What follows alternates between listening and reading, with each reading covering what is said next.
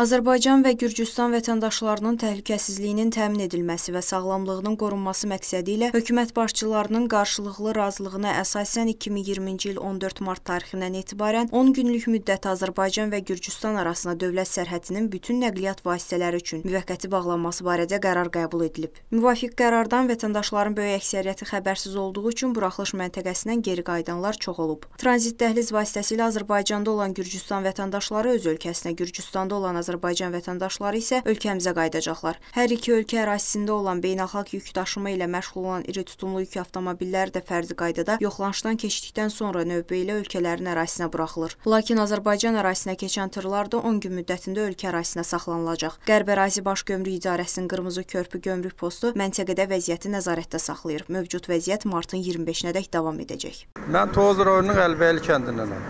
Mən Gürcüstandan Bakıya yük gətirirəm. Sıraha gün gəldim. Ayın neçəsi idi sıraha gün? Gəldim maşını qoydum parka sıraya. 450 maşın var idi. Keçdim, gəldim, getdim evə. Dedim sıram gələndə keçirərəm. İndi də gecə saat 12-də qanun çıxıb.